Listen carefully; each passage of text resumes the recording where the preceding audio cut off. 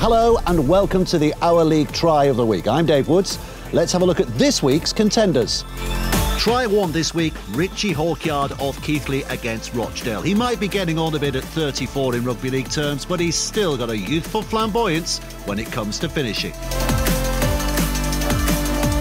Try 2 and the wonderfully watchable Bevan French. We've said it before, we'll say it again. He's a one-man thrill factory, setting up this try ultimately scored by Jackson Hastings, but French's name is writ large all across the drama.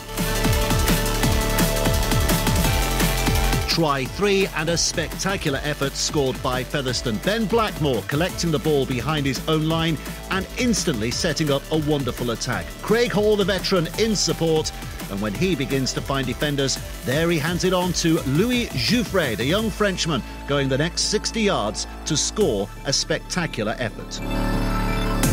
Try four is Bradford against Sheffield. And how good is this kick from Rowan Milnes? Placed to perfection, Brandon Pickersgill sharp enough to follow and score. Try five, Leeds against Toronto. You know when you've seen a good try when the collective live crowd goes, wow! And that's what happened here. Look for the reverse pass from Gale. Richie Myler then skips away from the last defender underneath the sticks. And finally, try six, Wakefield against Hull. And Tom Johnstone seems to be doing this every single week, simply defying gravity.